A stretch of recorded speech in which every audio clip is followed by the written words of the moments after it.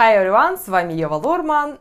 И сегодня я покажу вам осветление волос в технике Супер Блонд, а также чистку полотна волос. Итак, let's go, друзья!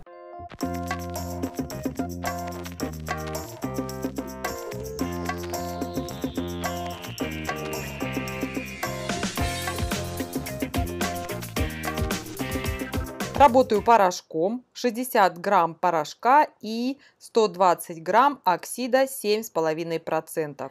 Моя модель очень долго не могла определиться, то ли она хочет отращивать свои волосы, то ли она хочет быть блондинкой. И пока она определялась, натуральные волосы отросли так, что простое осветление волос уже здесь не прокатит. Степ 1. Разделяю волосы вертикальным пробором Y без применения зажимов. Этим пробором я разделяю волосы на две части, правая и левая. Сразу наношу состав и фиксирую волосы в этом положении, поэтому зажимами при таком окрашивании пользоваться нецелесообразно. Состав наносится на отросшую прикорневую часть Хотя можно сказать, что тут не только прикорневая, а более чем прикорневую часть. В общем, наношу состав на всю отросшую часть волос. Далее горизонтальным пробором также делю волосы еще на две части, на переднюю и заднюю или затылочную. И делаю то же самое. Составом фиксирую волосы также наношу состав в зеркальном отражении по пробору на всю отросшую часть волос. И, естественно, наношу состав на краевую линию роста волос. Состав наносится обильно, поэтому мы разводим его с этим учетом. Краевая линия роста волос проходит по всей окружности головы, и состав наносится по всей окружности головы по краевой линии роста волос.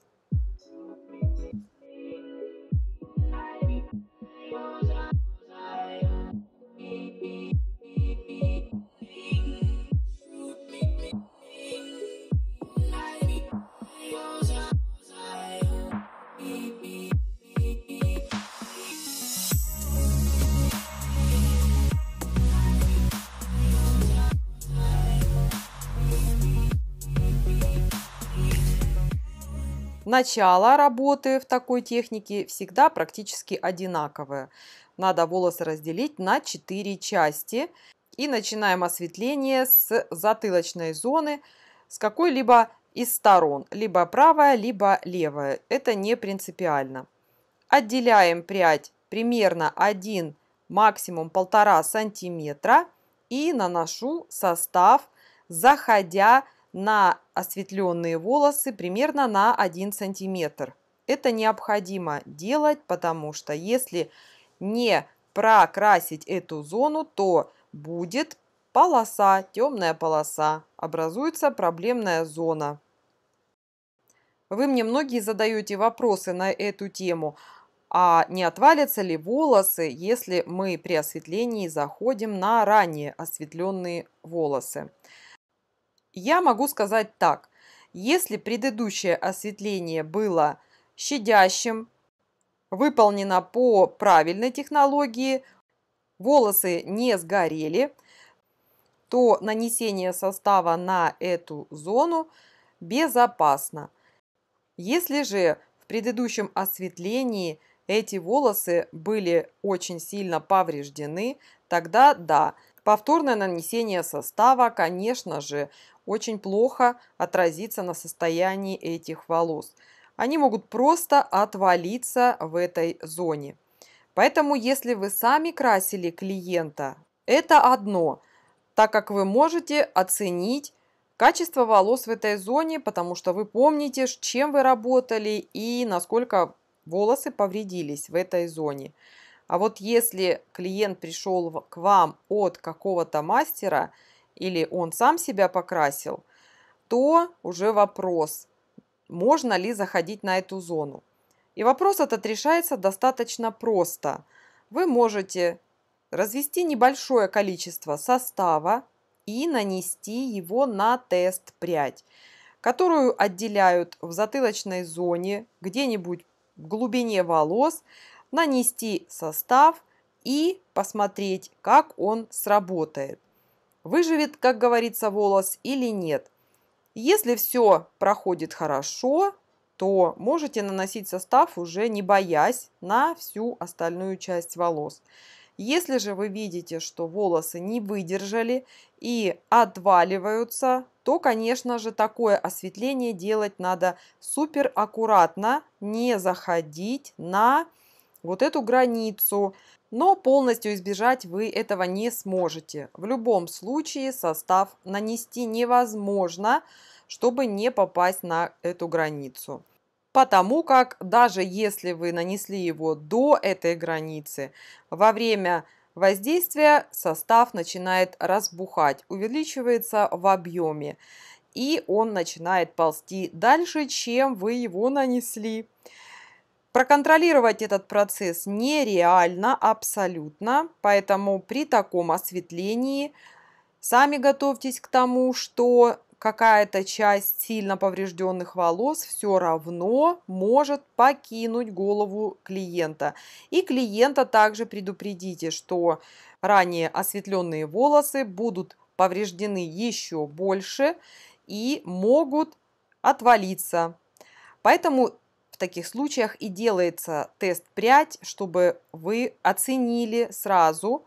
Я, например, если беру нового клиента – перед осветлением всегда делаю тест прядь, потому что я не уверена, да я и не могу быть уверена, я не знаю, по какой технологии были осветлены его волосы, насколько они повреждены.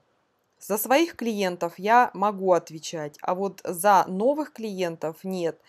И я всегда делаю тест прядь, и вам всем тоже советую. Это занимает совсем немного времени. Зато вы избежите серьезных проблем, если вдруг волосы отвалятся по всей голове, а также гарантирует вам хороший результат, если все проходит замечательно. Вы не будете переживать лишний раз в процессе всей работы, что же происходит с волосами. Вообще тест прядь – это очень хорошая тема. Тест прядь делается как при окрашивании волос – если вдруг вы не знаете, что же за цвет в тюбике и как этот цвет поведет себя на волосах вашего клиента. Можно также сделать тест прядь и убедиться в том, что этот цвет действительно то, что нужно. При осветлении тест прядь делается однозначно, а также тест прядь делается при химической завивке волос, к которой, кстати, относится любая завивка. И био, и долговременная укладка, хотя это одно и то же. А также тест прядь можно сделать и при ботоксе волос, при кератиновом выпрямлении волос, потому что основные проблемы у парикмахеров – это неправильная оценка базы, которую визуально оценить абсолютно невозможно. Даже не пытайтесь этого сделать. Приведу пример. Приходит клиент с вроде бы нормальной базой, никогда не осветлялся с его слов и просит осветления волос. Причем сам он достаточно темного цвета, 6-0, например. Обычно все говорят как? Ой, давайте попробуем, присаживайтесь, но результат я вам не гарантирую. Но присаживайтесь, меня всегда это удивляет. Почему это происходит? Почему парикмахер не знает, какой будет результат? Только лишь потому, что он не сделал тест прядь. Если он ее сделает, он сам увидит уже, что будет происходить на всей остальной массе волос. Ведь только по тест пряди мы можем оценить базу клиента. Мы увидим там все. Сколько раз клиент красился, чем он красился, сколько раз он менял краску, бренд и так далее. От этого и будет зависеть уже алгоритм осветления, какой выбрать оксид, сколько времени держать, с доступом тепла или без доступа тепла, открытое это осветление или закрытое осветление и так далее. Ну и самое главное, мы увидим, что волос выдержит это осветление. Это самое главное. Я вообще не представляю, как бы я работала, если бы я не делала тест прядь? Это как пальцем в небо. И сидишь, переживаешь. Что же получится? Не, нет, я нет, я так не работаю. Мне всегда нужен уже какой-то точный результат. Гарантия моей работы мне важна. Как и важна гарантия для моего клиента. Я никогда не начну работать, пока не буду убеждена в том, что все получится хорошо. Все, заканчиваю нравоучение. Надеюсь, эта информация полезна будет для вас. И смотрите, что я делаю. Я нанесла состав полностью на всю отросшую часть волос. И начинаю проверять, как проходит осветление. Осветление открытое, без доступа тепла. Я снимаю состав пальцем или расческой с участка и проверяю. Вижу, что прикорневая зона осветлилась отлично, а сантиметра полтора от прикорневой зоны осветление проходит хуже. Это нормальное явление. И мы видим прям три зоны. Прикорневая, затем идет проблемная зона, а далее ранее осветленные волосы. Я выдержала 30-40 минут Дальше не выдерживаем, потому что никакой реакции осветления дальше не идет. Идем мыть голову и подходим к степ 2. Голову помыли и высушили, чтобы увидеть, какая база у нас получилась. Сейчас очень хорошо видна большая разница в цвете. Фон осветления прикорневой зоны 1 см такой, какой нам надо. 10,3. Просто идеальный. А далее 9,3. Это проблема. Поэтому эта зона называется проблемной. И с ней мы будем работать далее. Будем осветлять ее повторно. Развожу 40 грамм порошка и 80 грамм оксида 4,5%. И наношу этот состав на проблемную зону. Это называется чистка полотна, то есть локальное осветление проблемных участков, которые возникают очень часто – из-за вот таких несоответствий. Сначала клиент хочет быть одного цвета, потом другого, надеется отрастить свои натуральные волосы, потом говорит, что нет, хочу опять осветление. И все эти качели приводят только лишь к тому, что при осветлении мы увидим грязное полотно, где есть границы от краски к краске, или же сильно отросшие свои натуральные волосы, как в данном случае, и граница с ранее осветленными волосами, которую очень сложно убрать, но возможно. То есть это просто добавление работы мастеру. Конечно, можно было и на эту базу нанести краску, но это было бы уже не то. Чистоты полотна мы бы не получили. А эта полоска, она будет все время сопровождать, пока клиент либо ее не сострижет, либо кто-нибудь ее не почистит.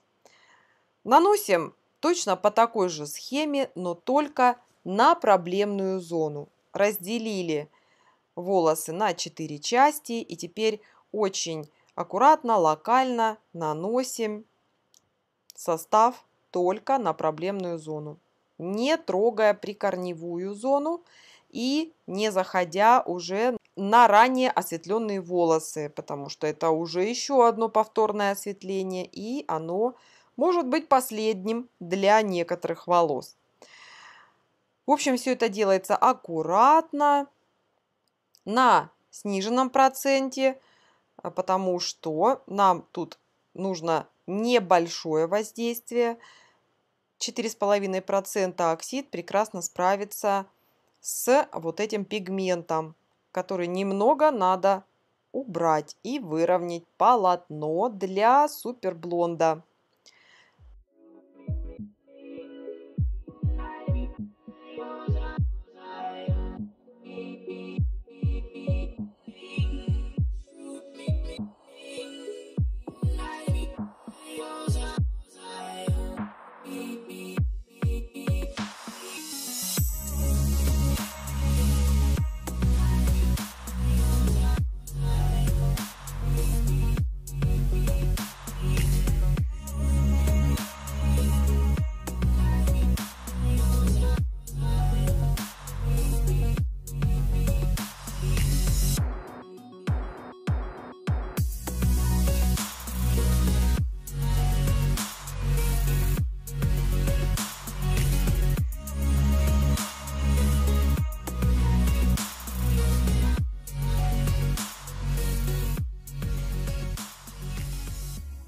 По окончании последнего мазка выдерживаем 20-30 минут.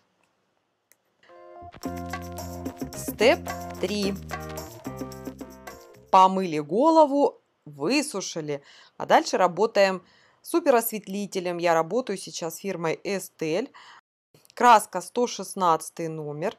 60 грамм краски и 80 грамм 6% оксида. Оксида беру немножко больше, чем краски. Разделяю волосы теми же проборами на правую и левую сторону. Прокрашиваю сначала зону по проборам в зеркальном отражении. Вертикальный и горизонтальный пробор, которые делят волосы на 4 части. И наношу на первую и вторую часть краску Правая или левая не имеет никакого значения. Можно и справа начинать, и слева. Далее краску я наношу полностью на всю длину волос. Отделяю пряди примерно по одному сантиметру и прокрашиваю все волосы.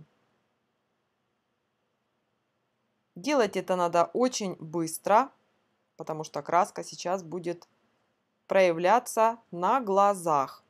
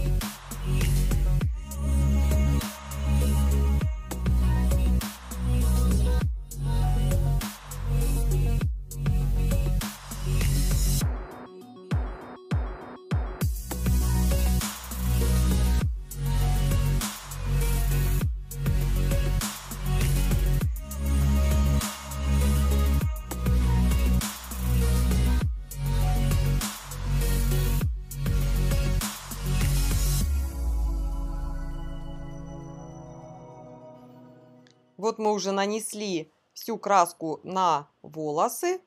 И время выдержки с этой краской примерно 15-20 минут.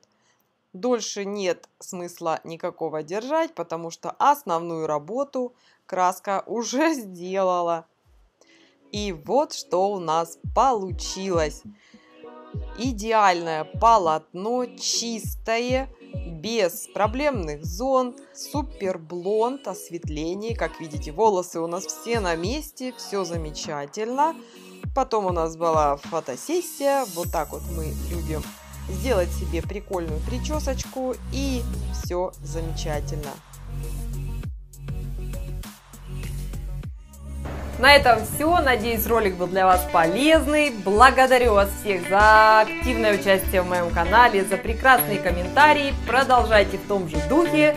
Bye-bye, everyone. С вами была Ева Лорман. И до встречи в новых видео. Thank you.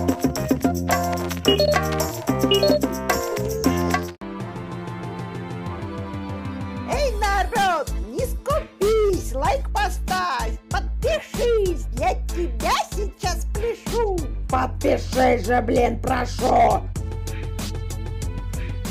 Колокольчик тут же жми, делись со всеми, не томи. Хватит даме танцевать, пора идти видос снимать.